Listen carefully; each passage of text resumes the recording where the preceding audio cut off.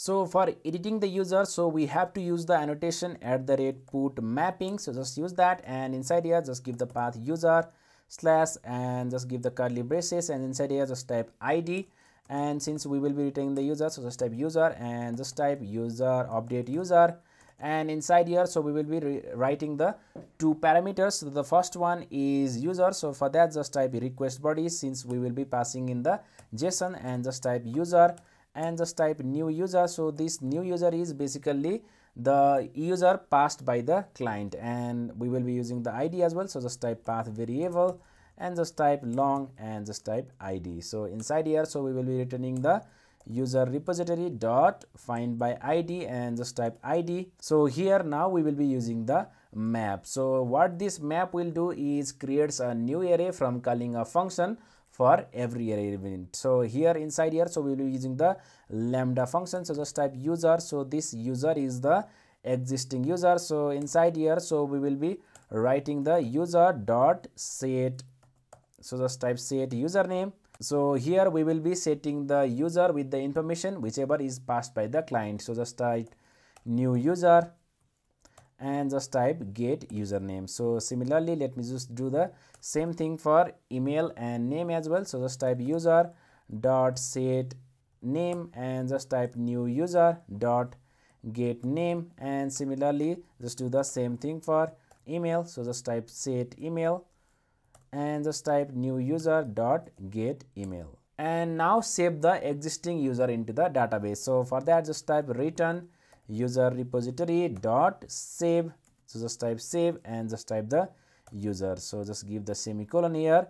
And if you are not able to get the user with the specific id so this should again display the same type of exception which we have given for getting the user id as well. So here also just type the or else throw and just type the arrow arrow function or give the lambda expression inside here and just type new and just give the user not found exception simply and pass the id so now this should work for the put mapping or editing the user. So now let me just run the application again and just click on this stop and rerun.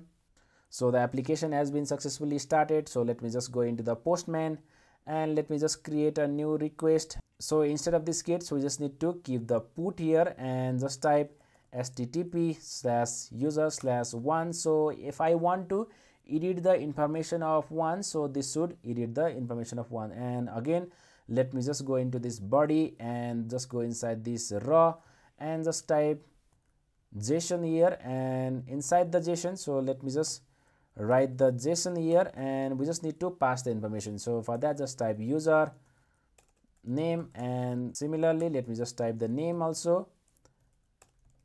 And similarly we just need to pass the email also so now if i just go into this database and check the data for one so let me just go into the mysql workbench here and just type the same command select star from user and execute this command.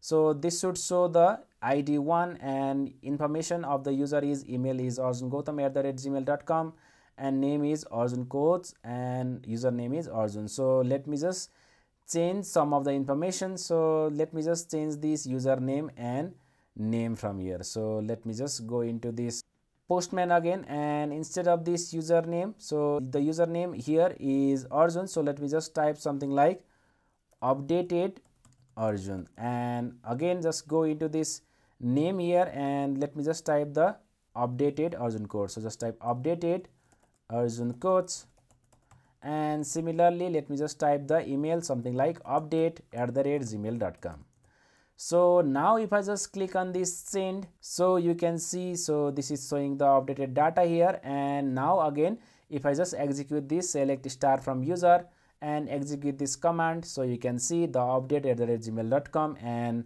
the name has been updated and the username also has been updated successfully. So now for showing the exception so if i just type something like 20 and just click send so you can see could not found the user with the id 20 so the edit user or put mapping is also working fine